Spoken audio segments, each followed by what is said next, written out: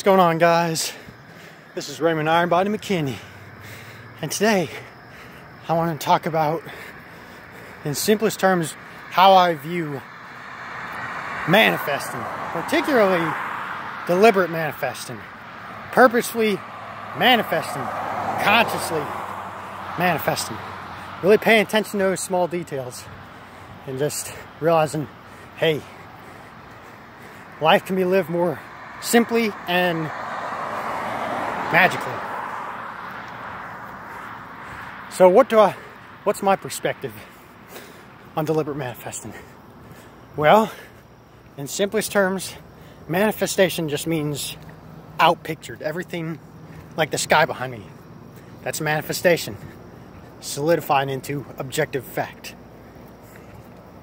What we assume deeply within our, our dominant assumptions solidify into objective fact. Our collective assumptions, collective dominant assumptions, solidify into objective fact.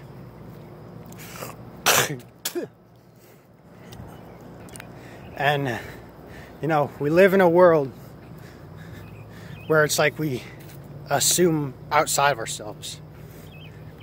The external, like assuming the external world is solid, quote unquote, and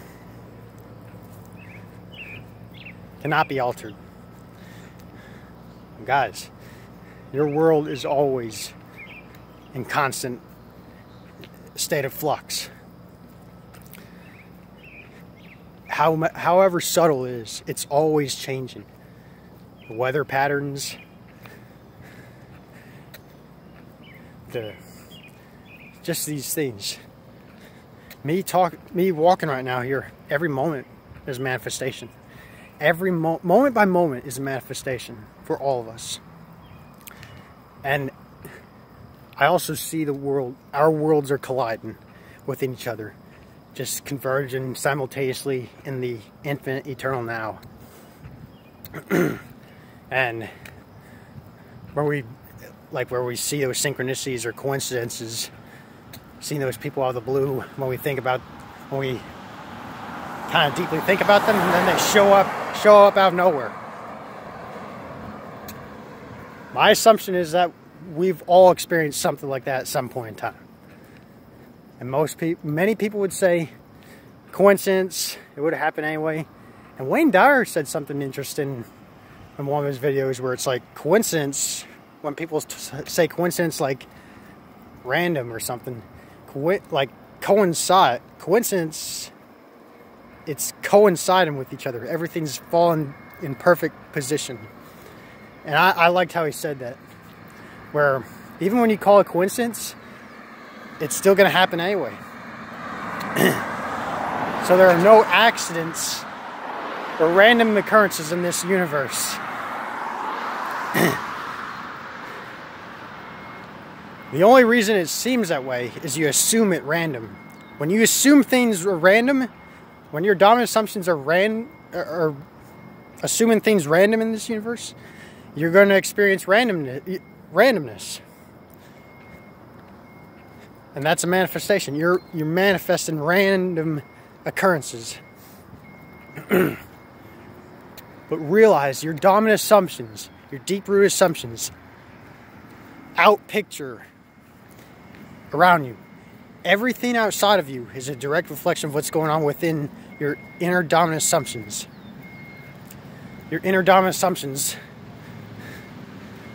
put you on that path of synchronicities or those opportunities like open mindedness, assuming for yourself, just being open minded to the possibilities. And then, Bridge of Incidents is lining up for you. So, I and this is really exciting. If people, more people, if more people realize this, how powerful! Like it's amazing that our assumptions literally outpicture everything. Like just think about it. the people like you assume say like an inner conversation, you're assuming a, a horrible conversation with like say your boss or something. Then your boss has a compelling urge to treat you bad or something like that. But if you change that air in conversation, that you're confident in yourself, and you see that that person's good to you, it may take some time, but they're just a reflection of your inner dominant assumptions. And I've seen it happen in my life. I've changed my inner dominant assumptions. Not saying affirmations, I am I am so confident. I'm so confident. No, I literally just feel. Change my inner state of being. And I notice people treat me relatively differently. Because I'm not I'm not saying be perfect with this stuff, but I'm saying to really pay attention to those things. To really be open-minded to the possibilities. Because I was in a space where I didn't see any. I didn't. I didn't see anything like that. I. I was in that doubt state. Just. But really paying attention to stuff. It's amazing just to realize that that you affect this world, that you affect others. People feel compelled to, like, I've seen it happen before. I've tested it on, say, like having a conversation with someone I haven't talked to in a while. And then all of a sudden they message me on, or they comment on one of my videos or something. Has never commented on one of my videos I don't think I don't think that person's ever commented on my video before.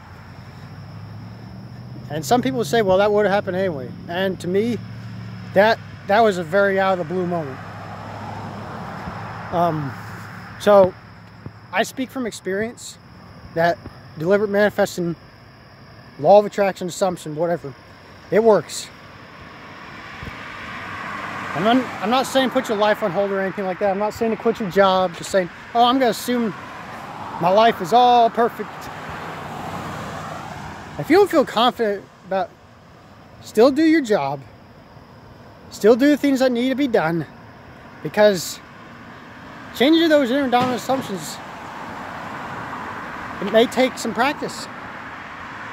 Playing the game of life is, does not mean to ignore your current reality, your 3D reality, whatever. It means to use this as a supplement in your everyday life. Whether you go to bed having that inner conversation with someone congratulating you as if you're that person already, and practice that,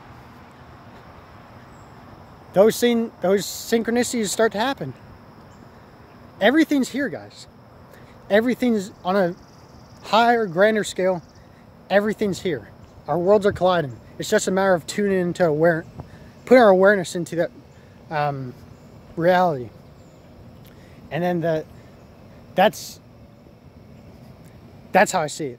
Simple as that. So simply put, have your inner dominant assumptions of um, just things that empower you. Whether it's that relationship, or that business, or health, or well, or any of these things. What means to you most? How real does it feel to you to bring those tones into reality and to embody those tones of reality on a regular basis.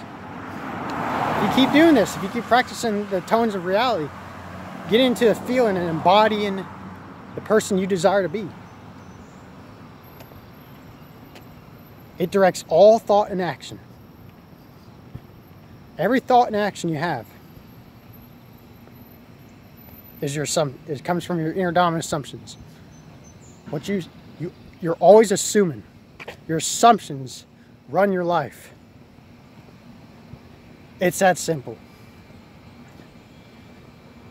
And I, I liked how in, I think in one, in ne one Neville Goddard's um, chapters, where he kind of referred to Ralph Waldo Emerson, famous English poet, or I think it's a poet, but he's saying basically on the lines of our assumptions are the hands of God. Uh, the hands of God molding our real, molding everything together. And I think that's beautifully put. That we are the collective, that our collective assumptions are the hands of God. Or goddesses, if I'm refer referring to girls and stuff. But yeah, I know deep down that the God and goddesses reside within ourselves, that our bodies are sacred temples. So, I hope this video helps. I just wanted to kind of bring, deliver, manifest in, in simplest terms. And uh, I wish you all the best happy manifesting.